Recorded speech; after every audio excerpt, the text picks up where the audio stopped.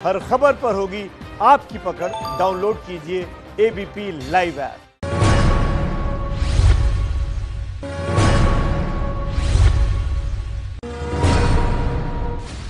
चौबीस घंटे में पहली बार कोरोना के नए केस 6000 से ज़्यादा बढ़े। कुल मरीजों की तादाद एक लाख अठारह हज़ार ऐसी ज़्यादा।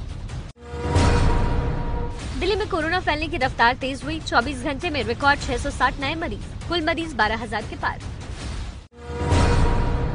प्रधानमंत्री मोदी ने तूफ़ान प्रभावित पश्चिम बंगाल को 1000 करोड़ की मदद का ऐलान किया। मृतकों के परिवार को दो लाख और घायलों को पचास हज़ार का मुआवजा। इससे पहले प्रधानमंत्री नरेंद्र मोदी ने पश्चिम बंगाल में उम्फुन तूफ़ान से हुए नुकसान का जायजा लिया और मुख्यमंत्री ममता बनर्जी के साथ समीक्षा बैठक की। रिज़र्व बैंक ने दी राहत की एक और किस्त।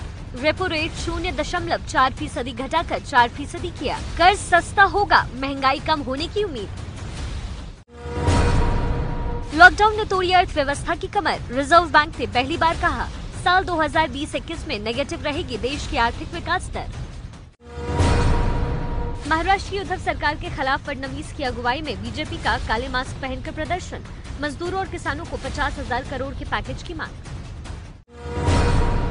प्रवासियों की पलायन, अर्थव्यवस्था की हालत पर आज कांग्रेस अध्यक्ष सोनिया गांधी विपक्ष के नेताओं के साथ बैठक करेंगी। बैठक में 20 से ज़्यादा राजनीतिक दल नज़र आने वाले हैं। बैठक में बीएसपी, समाजवादी पार्टी और आम आदमी पार्टी शामिल नहीं होगी।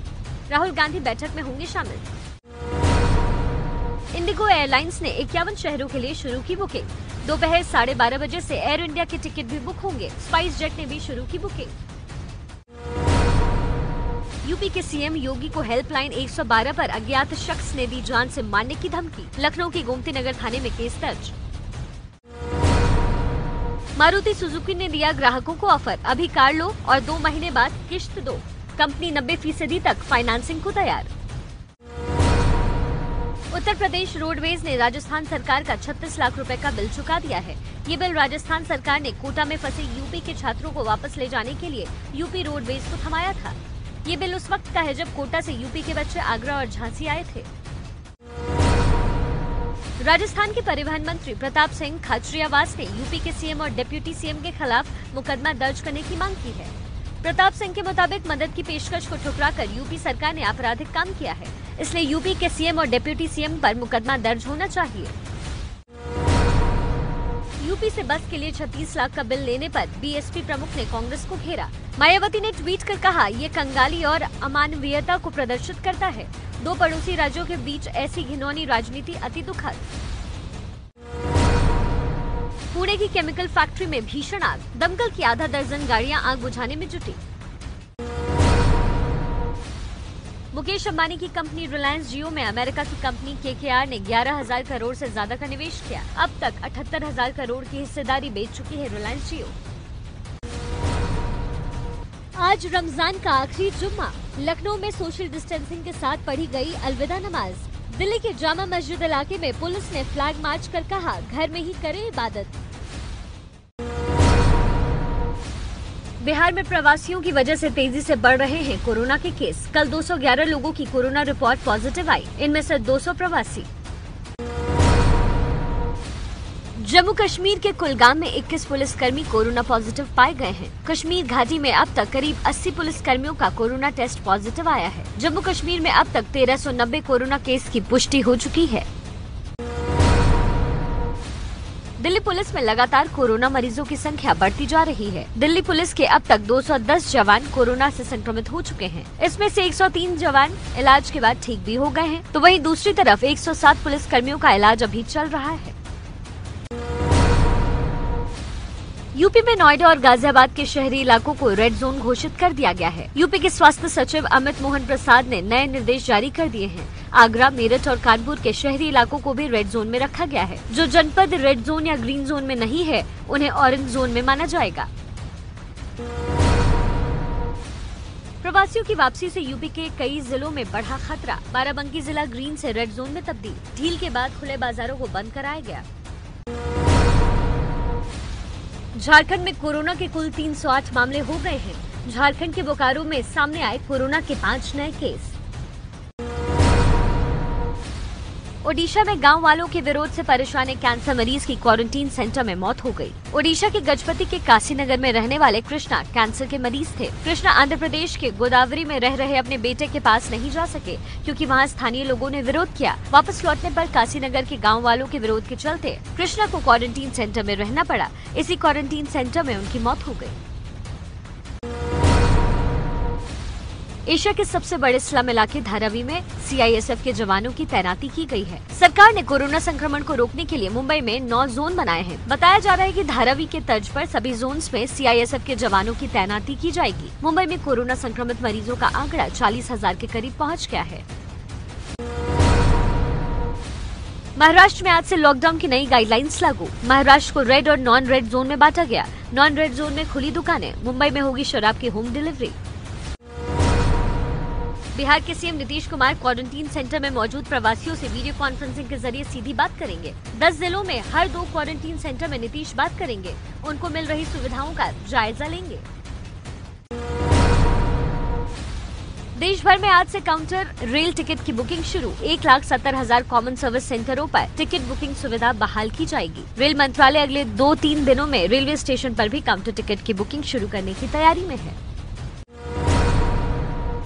में रेलवे स्टेशन के टिकट आरक्षण केंद्र पर एक जून से चलने वाली टिकटों की बुकिंग शुरू हो गई। क्योंकि ज़्यादातर टिकटों की ऑनलाइन बुकिंग हो चुकी है, इसलिए काउंटर पर बहुत कम लोग नज़र आए। रेलवे रिजर्वेशन काउंटर खुलने के बाद लोगों की लंबी कतार। दिल्ली के पहाड़गंज रिजर्वेशन काउंटर पर लोग सामाजिक दूरी बनाकर लगे कतार में। मेरठ में भी रेलवे रिजर्वेशन काउंटर खुले। लोगों की लंबी कतार लगी। पटना में रेलवे टिकट खरीदने के लिए कतार में जुटे लोग। लॉकडाउन के दौरान रेल सेवा ठप है, लेकिन आगे के लिए होने लगे हैं टिकट बुक। कोरोना काल में बड़ी लापरवाही। चंडीगढ़ से दो ट्रकों में लोग पटना बाईपास के पास उतरे। रास्ते में स्क्रीनिंग नहीं, पुलिस प्रशासन ने नाम पता तक नहीं पूछा। बैंगलोर में कर्नाटक राज्य के अंदर ही अंदर चलने वाली ट्रेनें शुरू। बैंगलोर से बेलगाम के लिए ट्रेन को हरी झंडी। दूसरे राज्यों से यूपी पहुँचे 60 लाख प्रवासी। डिप्टी सीएम केशव मौर्य ने कहा, चुनौती से निपटने को तैयार। राज्य में रोज 7000 टेस्ट, पचहत्तर हज़ार बेड तैयार। आगरा लखनऊ एक्सप्रेसवे पर चलते ये प्रवासी अपने परिवारों के साथ पलायन करने के लिए मजबूर हैं। राजस्थान से बिहार के कटिहार जाने के लिए एक परिवार, छोटे बच्चों और सामान को ठेले पर लाद कर निकल पड़ा है। कन्नौज में स्थानीय लोगों ने इस परिवार को रोका और उन्हें खाना खिलाया। वंदे भारत अभियान के तहत विदेशों में फंसे भारतीयों को लाने का काम जारी है। एयर इंडिया का एक विमान मलेशिया से अमृतसर पहुँचा। विमान में पंचानवे नागरिकों को लाया गया है, जो पंजाब के अलग अलग शहरों से हैं। इन नागरिकों को अभी क्वारंटीन सेंटर में रखा जाएगा और मेडिकल जाँच कराई जाएगी।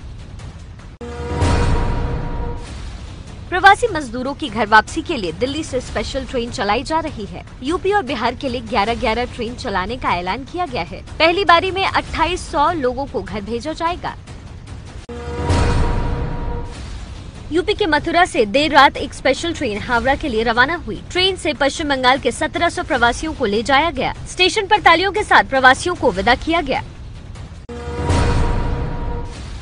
कर्नाटक में आज से दो स्पेशल ट्रेनें चलेंगी। ये ट्रेनें बेंगलुरु से मैसूर और बेंगलुरु से बेलगावी के बीच चलेंगी। रेलवे बोर्ड की मंजूरी मिलने के बाद कर्नाटक सरकार ने इन्हें चलाने का फैसला किया है। इनमें सफ़र के लिए ऑनलाइन टिकट बुक करना होगा। लॉकडाउन के दौरान ये पहला मौका होगा जब ट्रेनों को इंटर स्टेट चलाया जाएगा।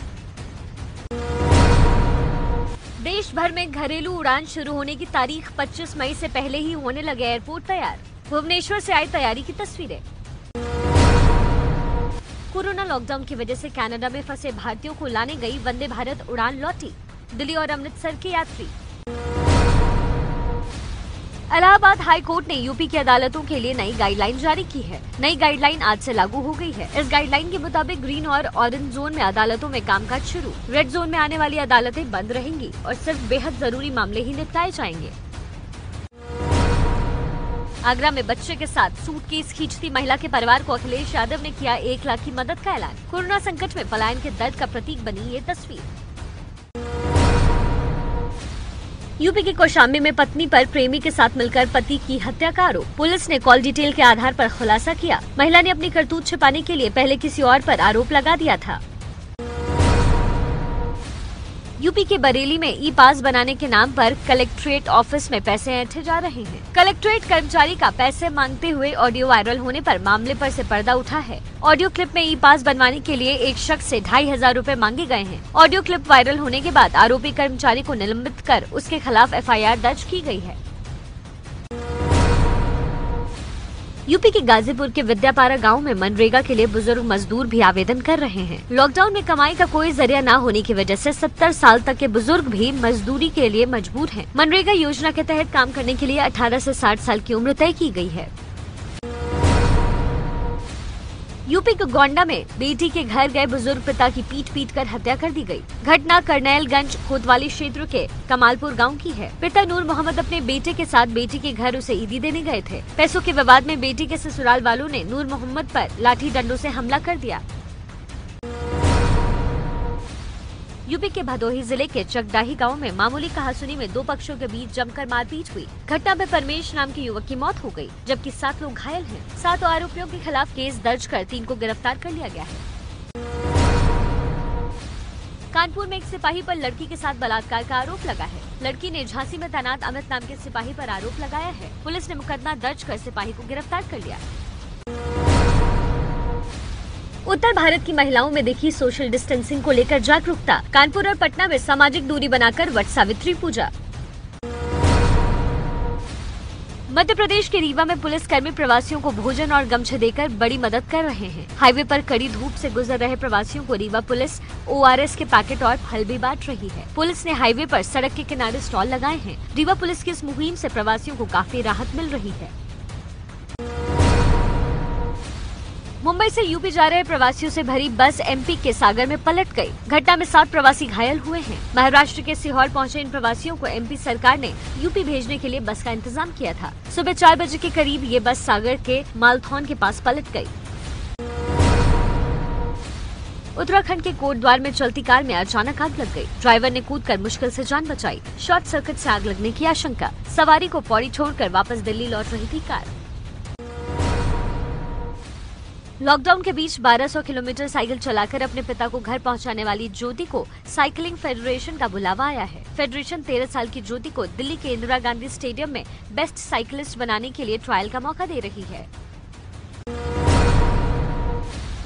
जम्मू कश्मीर के पुंछ में श्रम विभाग ने निर्माण के काम से जुड़े मजदूरों के लिए कोरोना मदद की दूसरी किस्त जारी की है। पुंछ में 6000 मजदूरों के खाते में मदद की रकम पहुंचाई गई है। ये वो मजदूर हैं जो कि लेबर डिपार्टमेंट में रजिस्टर्ड हैं। इस संकट की घड़ी में मदद की राशि पहुँचाने पर मजदूर काफ़ी खुश दिखे।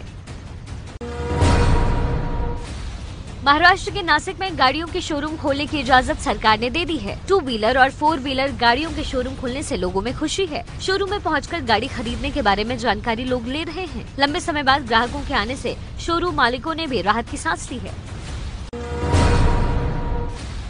बिहार के कैमूर में बोधे पार्टी में फायरिंग के वायरल वीडियो पर पुलिस ने कार्रवाई की। फायरिंग करते दिख रहे दोनों आरोपियों को गिरफ़्तार कर लिया गया है। फायरिंग वाली लाइसेंसी बंदूक भी जब्त कर ली गई है। लॉकडाउन के बीच लखनऊ के अज़ीज़ नगर में एक स्वास्थ्य कर्मी के घर में ही लूट हो गई। दो बदमाशों ने एक मकान को निशाना बनाया और घर में मौजूद दो बच्चों को बंधक बनाकर करीब 40 लाख रुपए लूट लिए स्वास्थ्य कर्मी ड्यूटी पर था, जबकि पत्नी ब्यूटी पार्लर गई हुई थी दिल्ली के कीर्ति नगर में चूना भट्टी के पास झुग्गियों में भीषण आग से 100 झुग्गियाँ जलकर राख हो गई। हादसे में किसी के घायल या हताहत होने की कोई खबर नहीं है। मौके पर पहुँची उनतीस फायर ब्रिगेड की गाड़ियों ने आग पर काबू पा लिया। आग लगने की वजह सिलेंडर फटना बताया जा रहा है। झारखंड के रजरप्पा के सिद्धपीठ, माँ छिन्नमस्तिका मंदिर में हवन और जप का आयोजन किया जा रहा है। ये हवन कोरोना महामारी से बचने के लिए किया गया। हवन के दौरान मंदिर के पुजारी ने सामाजिक दूरी का पालन किया।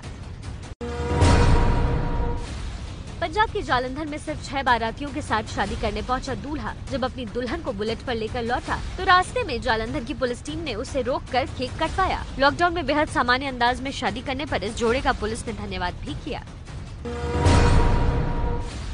पटना में दिल्ली से आए कुछ मजदूर सड़क किनारे रोते दिखे। इनका कहना है कि ये भूखे हैं और पैदल औरंगाबाद जाना चाहते हैं, लेकिन पुलिस कोई मदद नहीं कर रही। दिल्ली में लॉकडाउन के दौरान बसों को मिली छूट और कई दफ्तरों के खुल जाने से अभी से लगने लगा जाम। कोरोना काल में आईटीओ के पास भारी जाम की तस्वीरें। दिल्ली यूपी सीमा पर वाहनों की चेकिंग से बढ़ी भीड़। कालिंदी कुंज इलाके में लगा भारी जाम। श्रीनगर में लॉकडाउन जारी है। सिर्फ़ लाल चौक और कुछ इलाकों में ईद के लिए थोड़ी राहत। बाकी इलाकों में बिना पास के आना जाना मना। गूगल और एप्पल ने कोरोना के लिए अलर्ट देने वाला ऐप तैयार किया। इस तकनीक से तैयार ऐप कोरोना संक्रमित के संपर्क में आने से पहले इसे इस्तेमाल करने वालों को सतर्क करेगा। मशहूर फ़िल्म प्रोड्यूसर बोनी कपूर और उनकी दो बेटियाँ खुशी और जानवी कपूर का कोरोना टेस्ट नेगेटिव आया है। बोनी कपूर के घर काम करने वाले चरण साहू के संक्रमित होने के बाद घर के सभी लोगों का कोरोना टेस्ट करवाया गया। चर्चित टीवी धारावाहिक, महाभारत में देवराज इंद्र का किरदार निभाने वाले अभिनेता सतीश कौल ने मदद की गुहार लगाई है। सतीश कौल ने कहा है कि लॉकडाउन के कारण पैसों की कमी हो गई है। घर के किराए और दवाइयों के लिए पैसे की ज़रूरत है। मशहूर लेखक और voice over artist Ashish Roy अस्पताल से डिस्चार्ज होकर घर पहुँच गए हैं। आशीष मुंबई के क्रिटी केयर अस्पताल में भर्ती थे, लेकिन पैसों की कमी के कारण इलाज में परेशानी हो रही थी। एबीपी न्यूज़ की मदद ऐसी उन्होंने मदद की गुहार लगाई थी, जिसके बाद बॉलीवुड के कई सितारों ने आशीष को चार लाख रूपए की आर्थिक मदद की।